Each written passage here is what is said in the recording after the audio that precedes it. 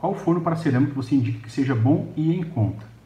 É, em conta tá difícil aí. Quando se trata de odontologia, nada é em conta, né? Você sabe disso.